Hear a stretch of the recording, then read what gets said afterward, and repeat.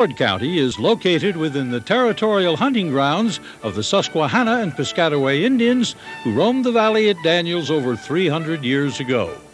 Susquehannock warriors came from the north and created havoc with the peaceful Piscataway who spent their winters here. These Native Americans organized hunting parties in search of wildcat, deer, and wild turkey. Artifacts, including arrowheads, have been found in a small cave near Daniels. Some historians suggest that Native Americans sought shelter in the cave and made use of a small opening on the top as a smoke hole. The stream that runs down by the cave has a large deposit of white quartz.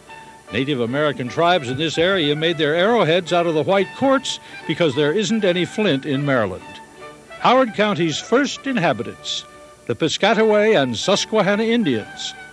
A step back in time from the pages of Howard County Past.